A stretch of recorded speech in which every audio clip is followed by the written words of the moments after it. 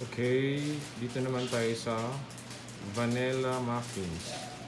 Okay, mix ko na to. Bali, uh, 3.5 kilogram eggs, whole egg, 2 kilo water, warm water, and oil na 4 kilo. Tsaka,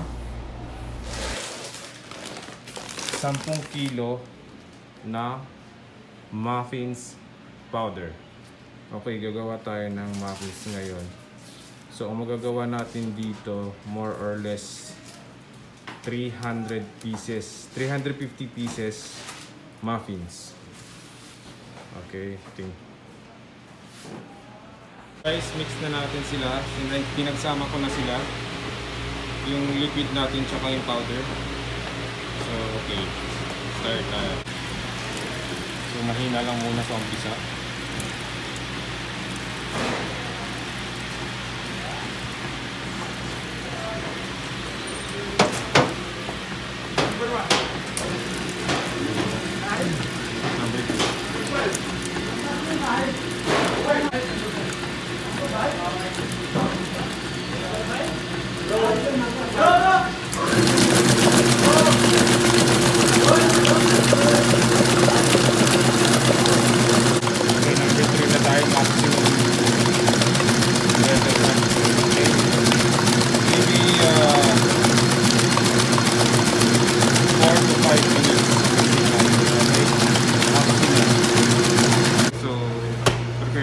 Oven.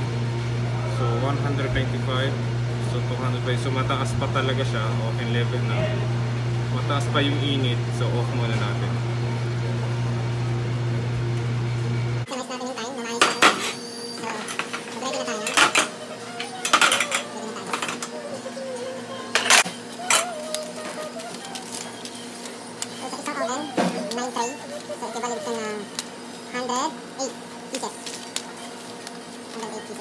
Na siya oh. Sakto na to. So magsa-start na tayo for piping. Okay, let's start.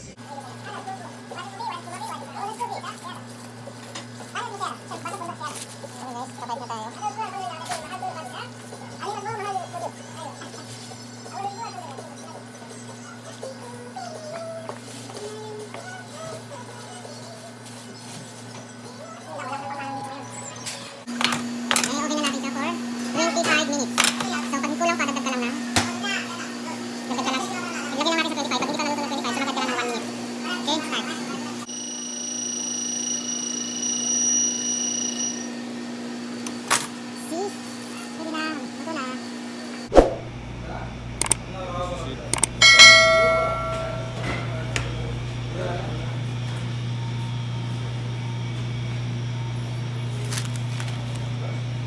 hindi siya sunog.